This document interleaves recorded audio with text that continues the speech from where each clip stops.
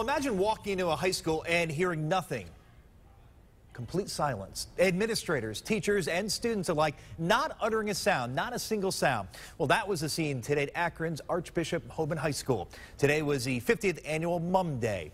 News Channel 5's Michael Baldwin shows us why.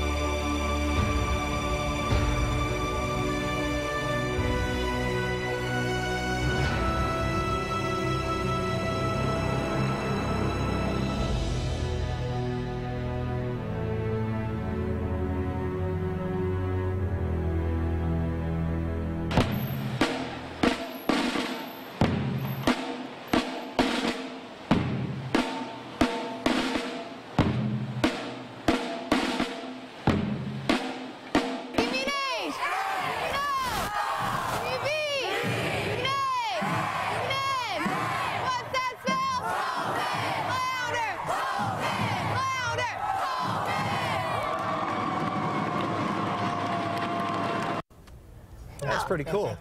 I might, Creative. I might institute Mum Day at my household. Yeah. Complete silence with the kids. Yeah, Right? Good, good luck with that. You got a two-year-old. Not yeah, not happening, right?